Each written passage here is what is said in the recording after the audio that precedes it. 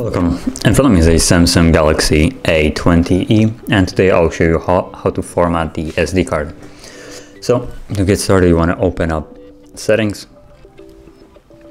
From settings scroll down to device care and then choose storage.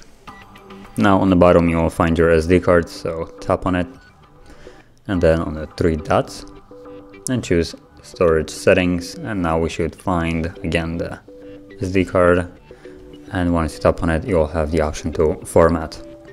Tap on it, it will give you a message that will remove every data, all the data from the card.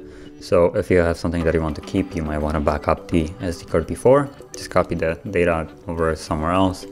And once you're ready, you can tap on format SD card.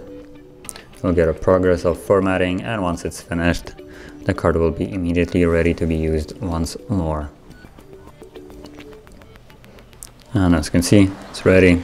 Stop on done, and that's basically it. So if you found this video helpful, don't forget to hit like, subscribe, and thanks for watching.